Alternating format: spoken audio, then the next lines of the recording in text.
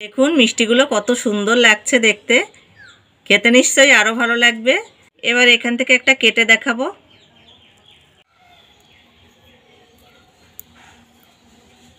এই দেখুন, কত সুন্দর হয়েছে মিষ্টিগুলো। একদম রসে ভেজা। আর কতটা নরম দেখুন। নমস্কার। প্রতিদিনের মতন আজকে আবারও চলে এসেছি আরেকটা রেসিপি নিয়ে। তো আজ করব গোলাপ জামুন মিষ্টি। এই মিষ্টি রেসিপিটা আপনারা সম্পূর্ণ দেখুন, আশা করি ভালো লাগবে। আর এই রেসিপিটি দেখার অনুরোধ রইল, আপনারা সম্পূর্ণ ভিডিওটা দেখুন। তো এখন আমি শুরু করব। এখানে এই বাটি মাপ করে এক বাটি গুঁড়ো দুধ নিয়েছি।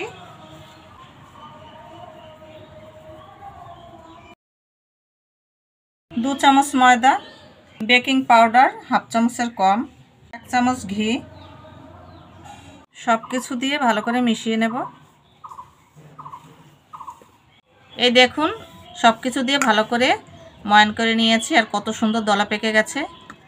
এই দেখুন, ভেঙে যাচ্ছে কত সুন্দর। এবার এখানে আমি গরুর দুধ নিয়েছি, আর এই দুধটা আগের থেকে জাল করে নিয়েছি। অল্প অল্প করে এই দুধ দিয়ে একটা ডোর মতো তৈরি করে নেব। তো আপনারা চাইলে জল দিয়েও মাখাতে পারেন, তবে এই দুধটা দিলে খুবই টেস্টি হয় খেতে। এই দেখুন, একটা ডোর মতন করে নিয়েছি। একদম থালার থেকে উঠে আসছে। এখানে একটু ঘি নিয়েছি, হাতে মেখে নেব। মিষ্টিগুলো এবার আমি গোল শেপে করব।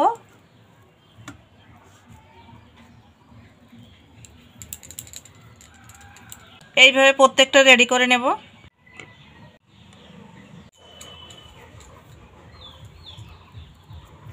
এইভাবে এক এক করে তৈরি করে নেব। আর এই গোলাপ জামুন মিষ্টিটা আপনাদের যদি ভালো লাগে লাইক শেয়ার কমেন্ট করতে ভুলবেন না। আর যে সকল বন্ধুরা আমার চ্যানেলে নতুন, ইউটিউবে সাবস্ক্রাইব আর ফেসবুকে ফলো করে পাশে থাকবেন। আর আপনাদের পাশে থাকাটাই আমার আনন্দ। আর এই গোলাপ জামুন মিষ্টিটা কীভাবে তৈরি করছি আপনারা পুরো ভিডিওটা দেখুন। আর না দেখলে আপনারা বুঝতেই পারবেন না আর বিশ্বাসই করতে পারবেন না ছানা ছাড়া কীভাবে এই মিষ্টিটা তৈরি করা যায়। ছানা কিনে আনার ঝামেলাও নেই। বাড়িতে ছানা তৈরি করারও কোনো দরকার নেই। খুব সহজভাবে এই রেসিপিটা আপনারা করতে পারবেন। তো আপনারা দেখতে থাকুন। তো বন্ধুরা, এক বাটি গুঁড়ো দুধে এখানে আমার এগারোটা মিষ্টি হয়েছে। এবার আমি উনুনটা ধরিয়ে নেব।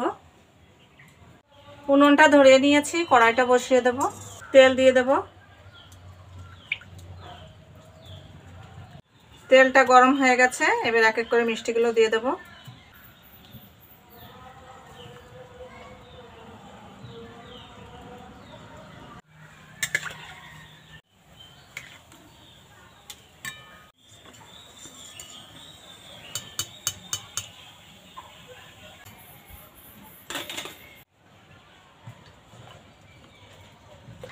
এইভাবে ঘুরিয়ে ঘুরিয়ে মিষ্টিগুলো ভেজে নেব।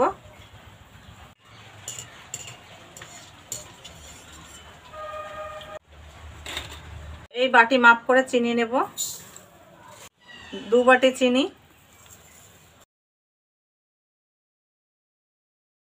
মোট এখানে চার বাটি জল দিলাম।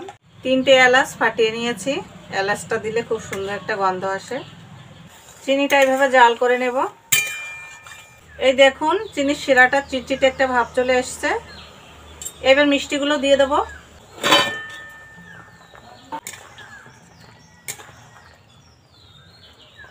এক মিনিট ঢাকা দেব। ঢাকা দিয়ে এক মিনিট জাল করে নিয়েছি। মিষ্টিগুলো হয়ে গেছে, এখন নামিয়ে নেব। ঢাকা দিয়ে দশ মিনিট রেখে দেব। দশ মিনিট বাদে আবার ফিরে এসছি। এবার ঢাকনাটা তুলে নেব। দেখুন, বন্ধুরা, কত সুন্দর হয়েছে মিষ্টিগুলো। ফুলে কতটা বেড়ে গেছে, দেখুন। এবার এক এক করে মিষ্টিগুলো তুলে নেব। উপর দিয়ে একটু মিষ্টির ঝোল দিয়ে দেব।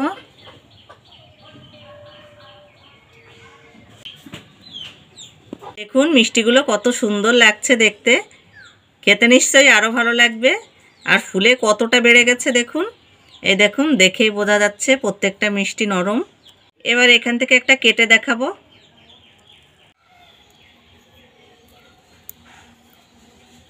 এই দেখুন, কত সুন্দর হয়েছে মিষ্টিগুলো। একদম রসে ভেজা। আর কতটা নরম দেখুন।